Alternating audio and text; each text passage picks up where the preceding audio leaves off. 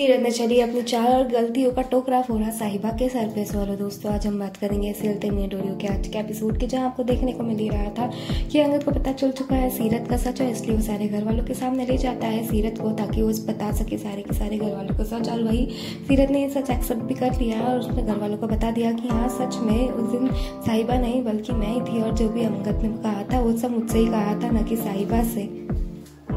और जैसा कि आप जानते हैं सीरत ने ये कम उसने किसी तरह से मोर मुड़ा के पूरा का पूरा शक साहिबा पर डाल दिया, ताकि अंगत दे सके साहिबा को डिवोर्स तो दोस्तों, आपको क्या लगता है कि इस बार सच में देगा अंगद साहिबा को डिवोर्स नहीं हमें कमेंट करके ज़रूर बताए।